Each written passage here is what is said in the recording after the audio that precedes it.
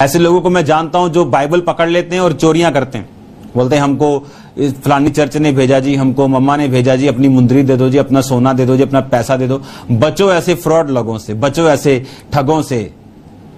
आपको मालूम खाम्बरा चर्च में जब ही भी पैसे की अनाउंसमेंट होगी तो मैं करूँगा स्टेज के ऊपर। अगर आप मुझे मैसेज भी करेंगे फ़ोन पर कि आपको कुछ चाहिए, मेरा कभी रिप्लाई आपको नहीं आएगा।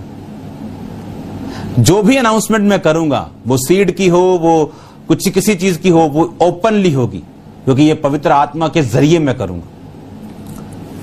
कभी मैसेज नहीं आएगा आपको कि आप दस लाख भेज दीजिए, पंद्रह लाख भेज दीजिए। और कोई व्यक्ति आपको मूर्ख बनाए आके कि हमको वहाँ से हम वहाँ से आए हैं जी, आपको ऐसा करना है जी, वैसा करना है जी। No no no no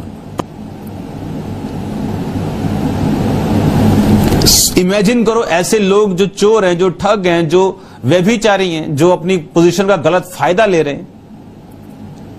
अगर उनमें आत्मिक फ़र्क ही नहीं है तो आने वाले दिनों में अविश्वासियों से भी बदतर उनकी ज़िंदगी होने वाली है, मैं जानता हूँ। परमेश्वर के घर का जो चोरी किया हुआ, वो वो वंशों से परमेश्वर लेता है।